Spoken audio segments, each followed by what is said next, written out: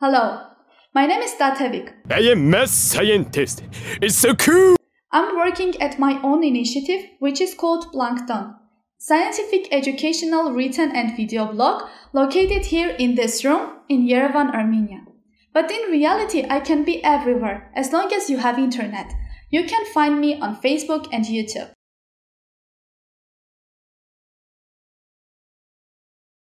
I guess probably a bit far from Lalande 211 85 star in Ursa Major constellation, traveling at the speed of light to not be late on my own birth.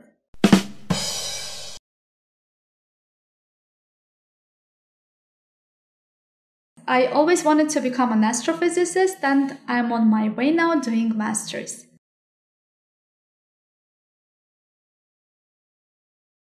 The wall of scientific complexity, non-inclusiveness, pseudoscience, and distance, because we are everywhere.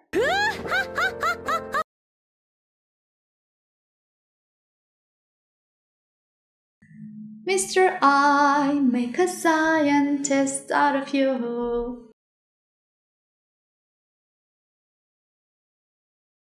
The main challenge is that real scientific research and discovery is not accessible to the majority of people.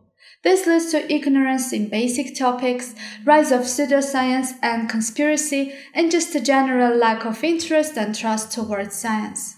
Our solution is to choose complex topics and new advances in science, which are hardly covered by any popular media, so that it could be interesting and challenging for everyone, from beginners to professionals. We want to make our content funny and engaging so that it doesn't feel like learning but enjoying a show instead.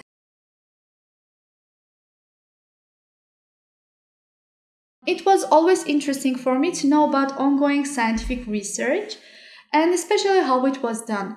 So I started to read about that a lot. Sometimes I just wanted to share my knowledge and excitement with others so I started to write posts on uh, my personal Facebook page using hashtag what they do. I was surprised how many viewers I got, so I started to do it more and more. Finally, I realized that I need to do it more professionally and do not only as a written version, but also as a video.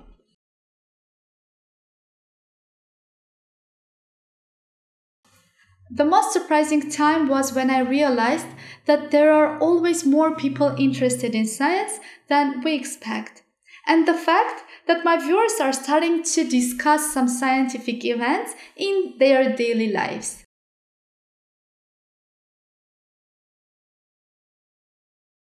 We are focused on non popular, complex scientific topics and articles. We make them simple and fun. We make inclusive, layered content targeting everyone, from your average person to professional one. By the way, the topics are selected to be out of Armenian school and university programs.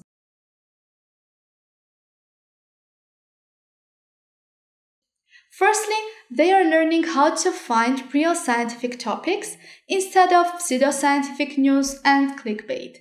Secondly, we create a new network of science enthusiasts who discuss various scientific topics with others. And finally, we hope that our initiative can expand Armenian scientists' community and inspire students to do science.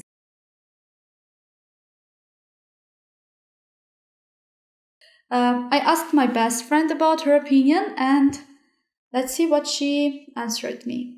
It's a great idea, love the work you do. You make the science so simple and funny, and that move clips and memes, um, just love watching and reading your plankton.